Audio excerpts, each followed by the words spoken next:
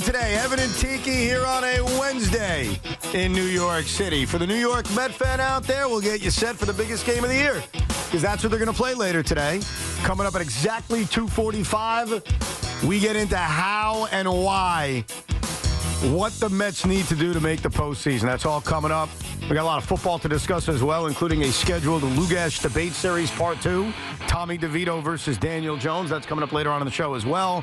And we'll get to the Jets to start. But obviously, today is 9 11. I think every year when we wake up on 9 11, I think of the same couple of things. The first thing I think about is how another year has gone by and there are more and more people walking our city and walking our country who know 9 11 as a historical event and didn't experience that. And I think that's just a part of being old and a part of life just moving on. But that to me is like if you are under the age, and we have a lot of young listeners, if you're under the age of 35, it's a historical moment that your parents tell you about. Mm-hmm. And that is very difficult to get through my mind and your mind because we all remember everything about that day. It still makes me shake thinking about that day. And it's been 23 years, and there's a generation of people who think of it as, yeah, it was, it was, it was a horrible day, but I read about it in a textbook. Yeah. Well, if, for me, and I'm, I mean, obviously I was playing. It's one of those days where you never forget, and that's the slogan. It's obviously the the mantra that we as Americans uh, espouse at this point. But I'll never forget how I felt that day. It was the first time in my life where I felt scared, like scared about the country that I lived in, and it wasn't because of anything happening from someone threatening me, but it, I felt scared for our country, especially after the Pentagon was hit.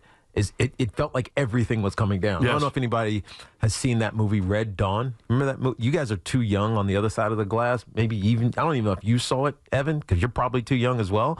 So I'm a decade, almost a decade older than you. It was the Russians invading the United States Right. and like these kids are trying to take up arms and fight the Russians. I mean, it's, it's improbable.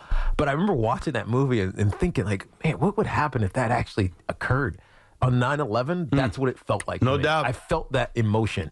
And so uh, the one thing that's been amazing, though, is that in especially in New York and today, and I'm, I'm mentioning this specifically because this morning I spent the day down at BGC on Water Street and then at Cantor Fitzgerald uh, raising money for a charity, uh, the Achilles Foundation, which is a disabled athletes who are doing all kinds of amazing athletic endeavors, running marathons, triathlons, climbing mountains, whatever whatever a, a, a disabled athlete would want to do. Achilles helps facilitate that. Jon Stewart is one of their ambassadors. We saw him down at the fi- uh, firehouse uh, on our way, and it, they've turned. We have turned this morbid day into a celebration of what's so good about this country, and that's giving hmm. and and and facilitating and being being great to people. And uh, I'm thankful. I'm thankful for the opportunity to go down to BGC and to Cantor and all the money that they've raised for all of the charities. We'll get into it a little bit later because there were some interesting people that I ran into. Uh, Loogie, you'll like it. Uh, Sean, you'll like it as well. The guys, I, the guys I've met, and uh, I'm, I'm looking forward to talking about how good of a day it's been for a lot of charities, thanks to BGC and to Cantor Fitzgerald. Yeah, it's so eight years ago, my son was born on 9 11. It made it a very weird day for that to happen. And as he's gotten older, he's asked me questions about hmm. it because he knows this is a day. Yeah. This is a day where we stop and we mourn and we talk. And what I've told him the last couple years when he's asked is I now think of just the heroes. Yeah. And I think of this day is a day in which there were men and women who ran into buildings and only thought about helping others. Right. That's what I think about. Like we lost so many innocent people, we could have lost more. Right. There were people who ran into buildings to save others. So it's a tough day. It's a day that makes you realize that when we're about to scream about the Jets and the Mets and the Giants and the Yankees, it's the toy store. It's the fuzz. We always say Yeah. it's the candy store, but it's a day, and you said it best. We will never forget. I will never forget. You will never forget. And everybody in our audience will certainly never forget. Now, last night I couldn't sleep. And you know what happens, Tiki, when I can't sleep? You get up and you uh, watch wrestling. Sometimes. I did something productive last night. Okay. I did something very helpful. I made a list. Okay? Oh, I made a list, and it's got two columns on this wonderful list. Column A is Fugazi, and column B, facts. All right? And it involves the New York Jets, who are in last place in the AFC East. Oh, stop that! It's You- one game. I'm just, uh, they're in last place in the you're, AFC you're, East. you're giving facts, but it, they're stupid facts. But keep going. That's just a re- and also a team that I was lectured yesterday, maybe not as talented as we all thought. And so I sat there last night because I don't want to overreact to one game, and I also now had 24 hours to let it all marinate. And I wrote down the things that are absolute legitimate concerns, things that are facts. Things that going into week two against Tennessee and Yep. going into week three against New England, it is not hyperbolic to bring up and say, hey, I'm concerned about this. That's the facts column. And then I made the Fugazi column. Okay. That's the stuff that, what are we doing here? Are we really worried about that? Like, that's just overreaction of week one stuff. That's, you know, sky is falling stuff. So I made a list of the two things. All right? Okay. And you tell me where I'm right and where right. I'm wrong as a Jet fan as we move closer and closer to Redemption Sunday. Because that's what Sunday needs to be. So I'm either confirming a check or I'm putting an X. That's right. Okay. Let's start with the facts. I am deeply concerned about this defensive line. I am. Okay, Haason Reddick, and you talked about this yesterday, isn't going to save stopping the run, Right. but he's going to allow a pass rush, something the Jets had none of on Monday night, and something that they actually did get consistently last year without blitzing. And so when I look at the talent on the defensive line and I remind myself that Micheal Clemons is still on this team and Tack McKinley and Will McDonald is a first round pick who needs to prove he's that and Javon Kinlaw, who I thought stunk on Monday night, and Jalen Holmes, like if I'm being fair, that's the talent on the roster, mm-hmm. and that's not that good. Yes. So when we talked about this yesterday, my point was yes, it will help a ton once Haason Reddick is here rushing the passer, but their issue was stopping the run. Right. And that's that's just good offensive line play, good scheme, pushing around the def- the, the the Jets defensive fronts on some occasions. It wasn't all the time, but it was a lot of a lot of those occasions to the point where a, a young runner in Jordan Mason, who nobody's heard of, rushed for 140 something yards last uh, on on Monday night. And so, will he help? Yes, but you still got to figure out how to stop the run. Part of that is defensive scheming, but a lot of it's it's it's just effort. It's it's clogging holes. It's being lane specific. It, that should absolutely be a concern. And it is. And I think that is a fair concern coming out of week one that they could not stop the run. They got absolutely no pass rush. And when you look at the talent on the defensive line, I think Joe Douglas may have been a little bit too arrogant. And not just arrogant in terms of the Haason Reddick situation, mm-hmm. but arrogant in terms of letting Bryce Huff go, giving John Franklin Myers away for nothing. Like, I think there was a thought that ah, Robert Saleh and Jeff Ulbrich will be able to scheme their way into this not being an issue. So I don't think it's an overreaction to look at the defensive line and say, you know what, it's not as good as it was last year. I think that's a fact. But let me get to something that I think is fugazi. All right. Breece Hall got shut down on Monday night. Mm-hmm. But I thought overall the offensive line pass protected Aaron Rodgers Fine. very, very well. Fine, They- only a few, less than a handful of hurries, one sack. That's it. Now Rodgers does a great job of getting the getting rid of the football quickly. They didn't open up a lot of holes for Breece Hall, but you know what? This is the first game, the first week of an offensive line that has a lot of talent. Yes, they've got injury questions. I get that, but they're all learning how to play together. John Simpson, Tyron Smith, Alijah Vera-Tucker's barely played the last two years because of the injuries he's dealing with. I am not overly concerned about the offensive line. A, protecting the quarterback, which they did a fine job on Monday, and B, opening up holes for Breece Well, Hall. Fugazi, I tell you. So I halfway agree with you because I think pass protection is more kind of just your skill. Tyron Smith, very skilled left tackle. He'll be fine. Uh, Simpson, same thing. Uh, uh, I don't know yet. He's still a young player. I, AVT, going to be fine. Morgan Moses, he's been here before. Pass protection is fine.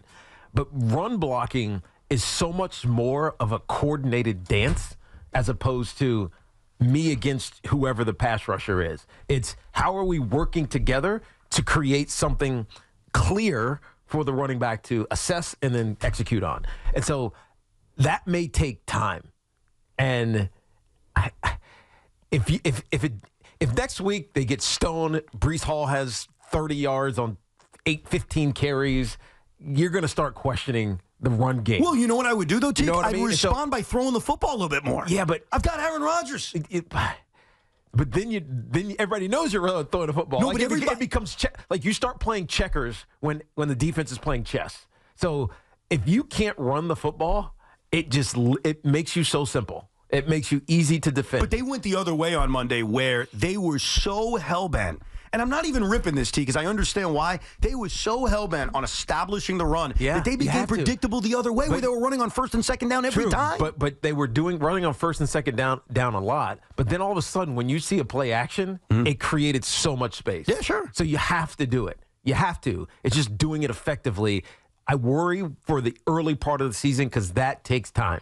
Run offense line, offensive line play. It just takes time. it does take time, but don't you think overall they've got the talent there Yes, to that's make why this I half, work? That's why I half agreed with you. Okay. Because I think pass protection wise, and ultimately I, they'll figure it out. Morgan Moses is a smart guy. He's a UVA guy, by the way. So of course they got to figure it Of out. course, of course. Yeah, Tyron Smith's been playing forever, and AVT was one of the best guards before the injuries took over for the last couple of seasons. they're going to be fine, but I'm only half agreeing with your Fergazi comment because I worry about that run scheming, that run uh, cohesion that only happens with repetitions together. I'll give you another thing that's fugazi. The idea that Aaron Rodgers is a 40 year old quarterback and you've just got to worry Nah, about he, it. yeah, that's Fergazi. Look, he is 40, and yes, guys can get hurt. I give the- you that. It's the freaking NFL. Yeah, that third drive, he was amazing. He was amazing.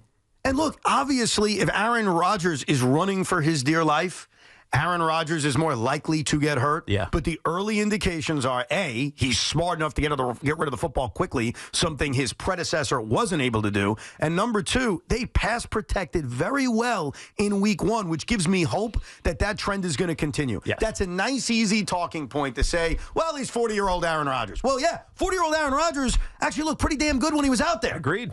So I that agreed. is I not- can't. I can't argue with that one. Because it's a fugazi concern. I, thi- I mean, I told you. I, I wrote you guys. I almost wrote you guys. Aaron's really good. He's just so good He's when good. he's on. When he when he's commanding it and he's putting the ball where he wants wants it to go. When his release is just. Eh, you watch Aaron Rodgers throw the football. When he makes a decision where it's going, the ball gets there. Oh, zip. It's there. Yeah. And that's, you know, it's funny. Like I'm watching the Giants, and Dan, that's what Daniel Jones isn't doing. Mm. He's not, that decision isn't happening in that microsecond that you have to have it happen in order to, you know, make Well- easy completions. But with Aaron Rodgers, he makes a decision, the ball's gone. And, and one thing, thinking back to Monday, that is so incredibly frustrating is that we sat here virtually for a year and a half waiting to see him play. Yeah. Aaron Rodgers was a theory. Yeah. We watched the old videos. We remember his time in Green Bay, but he wasn't a New York Jet. You can't even count the four plays last year before he got hurt. And then on Monday night, he's finally out there. He's the quarterback of the team. And a lot of it not his fault. He Yeah. just didn't have enough plays. Yeah. And that was, we didn't see enough of him. Like we saw the glimpses of him, and then there were certain things, whether it was the defense not being able to get off the field, whether it was the early drop by Allen Lazard, whether it was the fumble by Breece Hall, there were things that kept us from seeing Aaron Rodgers more. Yeah. And we need to see Aaron Rodgers more, but that is not a concern. And to say injuries, look, it's the NFL. Anybody can get hurt. I mean, just look around the league. Everybody's an injury concern. Here's one that's a fact, though a real legitimate concern. And even though in totality, the New York Jets were not called for a lot of penalties on Monday night, they were called for a couple of big ones. There was an illegal hands to the face called on Jermaine Johnson, who did not have a good game, on a third down, with the Jets trying to come back down 23 7. It directly led to San Francisco kicking a field goal to go up by 19. Here's why that's a legitimate concern. Robert Saleh coached a really good defense last year, and him and Jeff Ulbrich deserve a lot of credit. And I don't expect him to be completely outcoached every week like we saw Monday against the great Kyle Shanahan. But we have become used to the fact that there is that big penalty on defense that kills this team. Yeah. Every single week, there's one. And so when that penalty is called on Jermaine Johnson, and it was legit, I'm not going to whine about the officials. That was a real penalty. It's a reminder that that's what this defense even did last year when they played a lot better. It's like the little things. It's not the ones that are that are going to get uh, show up in the highlight reel, but it's the little things that help that make you lose against good teams. yeah. Those things will crush you against good teams. And that leads to the other real concern this head coach. Mm-hmm. It may not be every every single week, but Jet fans, we have bigger goals than just beating the Tennessee Titans and winning 9 or 10 games and making the playoffs. Granted, that's the first goal because you got to make the playoffs. You can't just start running, you got to walk first. But our dream, especially when you have a 40-year-old quarterback, especially when you are having an all-in season where basically you brought in Haason Reddick and said, "Go play one year, get Right. paid and then you're gone." Joe Douglas is in a contract year. They've got to win. Making the playoffs is nice. They haven't done it in a long time. They have to win. And what Monday reminded me was while they may be fine on Sunday against Brian Callahan, coaching his second game for the Tennessee Titans, Yeah. and they may be fine against Jerod Mayo two weeks later, a guy who's still a rookie head coach. He's only coached one game, two by the time we get to Thursday. I don't trust Robert Saleh against Andy Reid. Hmm. I don't trust Robert Saleh, and I hate to say it because I don't like him personally, against Sean McDermott, especially on today of all days. I think Sean McDermott's a disgrace. But I'm not going to bring that up again. That's the past, especially today. But I don't trust Robert Saleh coaching against these established big time Yeah, coaches. I mean, and I think Monday was a preview of that, so, so it's a legitimate one because I mean this is the this is the old Parcells' cliche. You are what your record says you are. You are what you've done against the the coaches that are quote unquote better than you. And that's what Robert Saleh still has to do. It's a work in progress. But you have to start beating teams and slash coaches that are viewed as better than you because that's the only way you become or even start to get in that conversation like you have to win games against in games that you're not supposed to win or that that the the, the pundits will say you're going to be out coached in. And it's easy to say it's really hard to do because so much of it is is things that aren't in your control. You know what i mean? As a mm. coach. Because you can call the right defense and the next thing you know someone busts and you get a humongous 50 yard play is it your fault you called the right defense someone messed it up That's what you told me about the Lion game two years ago. yeah no Called the right play. Right. It got busted. They lost. it got busted they- it's exactly right and so some of it is in his control a lot of it's not but the things that matter the decisions that matter and the moments that matter and games that matter you got to win them you got to otherwise i think for coach Saleh, especially if it becomes subpar than what the expectation is this year he's not going to be here What are the real Jet concerns coming out of week one? 888-808-1019. And one of the Fugazi ones that haters like to bring up because they hate us? Just remember, they hate us. Sean mm-hmm. Morass, not to just pick on you, he hates us. Half of the Giant fans that you know, that you hang out with, they're good people, but they hate us. The national media hate us. Everyone who doesn't like Aaron Rodgers hate us. The New York Jets suck. We'll get to your calls coming up 888-808-1019 and speaking of Aaron Rodgers, Aaron Rodgers is warning to New York Jet fans. We'll get to that coming up plus at 245 Met fans it is as big as it gets later today. We'll get into what they need to do to win this series and make the postseason. 888-808-1019. We are live from the Town Fair Tire Studios, powered by Town Fair Tire. Nobody beats Town Fair Tire. Nobody.